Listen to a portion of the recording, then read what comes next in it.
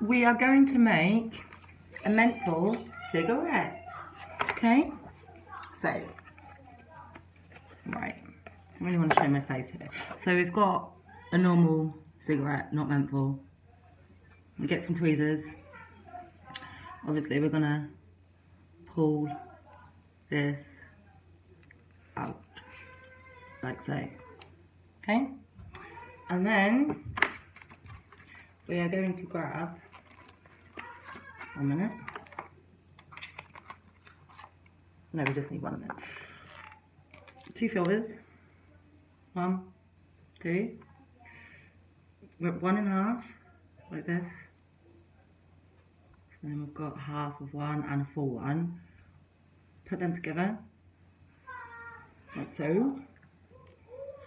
And then this should